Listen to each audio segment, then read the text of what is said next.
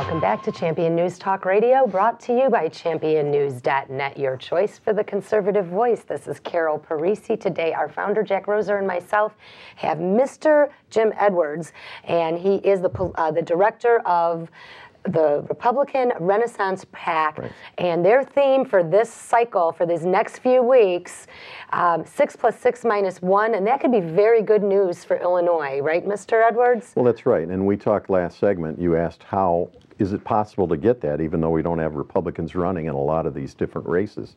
And yes, it is. First of all, uh, we are hearing, first of all, the quality of candidates that we have running mm-hmm. is like four notches above what I think is already in there on the Republican side.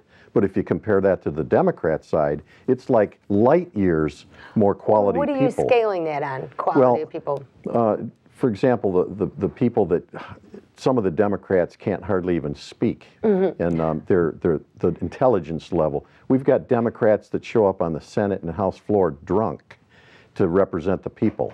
Fist and, um, fights. Fist fights on the floor. Uh, it is just pathetic. So the quality of people is there, but but secondly, a lot of small business owners running this cycle. We have uh, we have two doctors, we have one attorney, we have a rabbi, we have an ex nun, we have lots of small business people, three and, cops. And we have such a variety of people running, but they're intelligent and they're driven, uh, not to become in politics. Most of them want to go back to their whatever their jobs are now. Mm-hmm. They're going in it just the same reason the Tea Party people are in it. Right. They're sick and tired of what's going on. Same set of values as That's in right. these people that you've been vetting them and you're certain they've got those values and those are the ones we're putting money and political effort behind.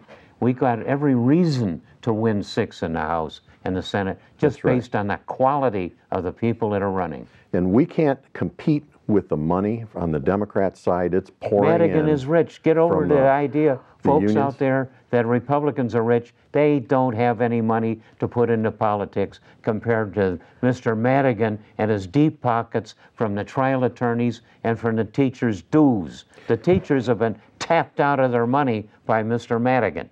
So if you ask, if people ask, can we really win and, and compete with the Democrat money that's rolling in from the unions and all? Mm-hmm. Yeah, because here's what we're hearing every section, every county in the state, we're hearing from Democrats, they're disgusted with their own party, and mm-hmm. deservedly so. They should be. I would be completely embarrassed to be call myself a Democrat in the state of Illinois right now. They have wrecked this state, as you said, Jack, most corrupt and most broke state. Once the Republicans party, did it. Once a great party, but your father's Democrat is dead and That's gone. Right. It's the, dominated by a bunch of slugs that have taken the public money and put it into right. vendors of their choice who put it back into the pockets of Mr. Madigan. I'm not accusing him of a felony quite, but I'm accusing him of political machinations that have made the Democrats rich. Well, I will tell you this. I know enough about psychology that and I want all the Democrats out there, especially you're an office holder, to listen very carefully. Corruption can cause heart attacks.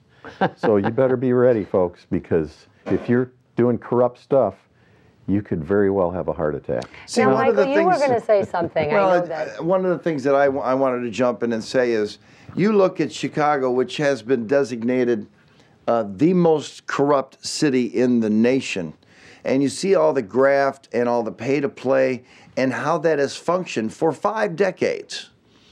That corruption, that, uh, that greed has sifted its way down to Springfield. And because Michael Madigan holds the purse strings, he's the go to guy. I mean, you don't, if you're a Democrat down in Springfield, you don't go up against Michael Madigan, or I guarantee you he's going to primary somebody against you and run you That's out right. of a job. No, it's so good point. that they play politics on the ta- hardworking middle class taxpayer dollars, on the people's dollars. That's despicable. But Mike brings up a really good point, Mike, and, and it's this. Folks, if you're listening to this program and you usually vote Democrat, uh, do yourself a favor, do your family a favor don't vote for the Democrat state rep this time around. Even if it's your neighbor that you think is okay, don't vote for him. Why? Because if you don't vote for him, that's a way to fire Madigan. If we don't have your state rep make it and another guy, I don't care if it's a, rep, we want the Republicans to win, but just don't don't vote for the Democrat. Vote for the independent. Vote for the Green. Vote for anyone except the Democrat because we need to fire Madigan.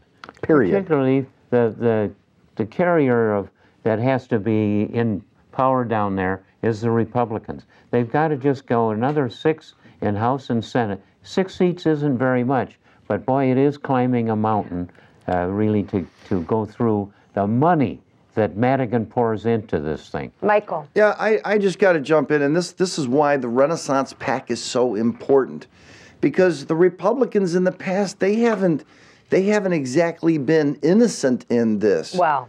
I mean, they they made a decision that if you can't beat them, let's join them, and they stood for nothing. And uh, you know, there's there's there are Those, candidates. those guys are gone from the party.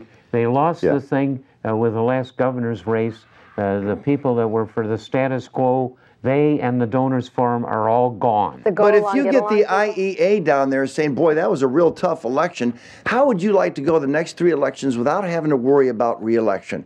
All you have to do is sponsor this legislation. They Yeah, do this it's all the time. It's You know corrupt what? So now. that's Jim- why we need people of integrity and character that Jim is meeting and introducing, people that will stand up for the taxpayers in Now, Illinois. Jim, do you do, are you finding the candidates that the Republican Renaissance PAC is vetting, and the candidates that are running on the Republican ticket this year, have the political will to do what it takes to reform these p- pensions that are bankrupting Illinois? Uh, They have to actually sign a pledge that they will. So when Mike talks Your about pledge. integrity, by the way, we have we are supporting people of integrity. But I'll tell you the other group that's critical to the integrity of this whole process. That is the patriots and Tea parties and Great Awakening groups that you, are know- out what? there. I, we're going to talk about that. We're going to have a whole segment on the on the grassroots, strong, bold grassroots movement. But I, I noticed here you're, you're saying 11 House and nine Senate candidates are refusing their pensions. Eleven, no, six of each. No, no, no, no. There were 11 House candidates Oh. and nine Senate candidates are refusing their state-sponsored pensions. Right. That Ah, is yes. huge. That Imagine is that. huge. A- And so you talk about people with character and integrity. Right. Why are they doing that? Because the state is broke. It- They it- know that. So they're willing to send a message and say, I'm not even signing up for the pension because They they're people of realize it's bankrupt. They know that it's a scam and they don't want to be There part of the problem. the they want to be Democrats part of the signing up for solution. that, are there? Yeah, how many No, there's Democrats some- are refusing There's their some pensions? Democrats that are talking about that, but What they there talk aren't Democrats. There are more Democrats, incidentally, talking about pay increases, and uh, we hear it from our guys all over the state. There are Democrats talking about increasing taxes already. We just had the 67% increase in income tax tax. increase. They're talking about raising it because we need they need money to spend. Lisa Madigan. They're talking about property taxes. They're talking about every kind of tax you could imagine because that's all they know. We get down to two and to, to these two things. Nobody can should forget this in this election. This is the most corrupt state in the union. This is the most busted financial state in the union. And who's been in charge? Madigan and a bunch of crummy Democrats and people feeding money into them for their own damned advantage, whether it's the asphalt roads or the or the or the lawyers or the the unions that are pouring uh, that are actually running the schools. That money's all pouring through Madigan. All and we got to get rid of that. Taxpayers' back. It's all on the hard-working, Yeah. middle-class taxpayers' back. Michael, Meanwhile, uh, Lisa Madigan just recently added $9 million to her payroll by giving employees some pretty hefty raises. very nice. On the hard-working taxpayers' dollar.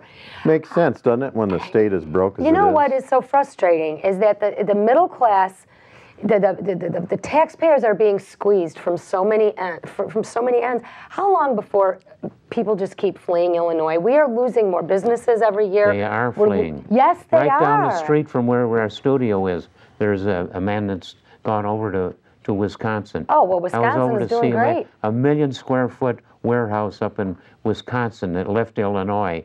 A great businessman, but his big warehouse, it's gone over the border. A lot of people are fleeing And they're because lined up as right. the animosity of these left-wing jerks and damn fools that are running the, the, the Democratic Party. Well, it's another thing I hear statewide from our candidates. Their businesses are waiting for the election and there'll be a mass exodus like we've never seen if the Democrats remain in how power. How is that going That's to help the tax base?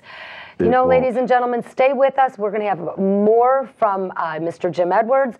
We're going to have another guest come on to, to tell you about some of the solutions that are happening right now in Illinois to help with the six plus six minus the one maniacal Michael Madigan. Stay with us, and we're going to be back after the break.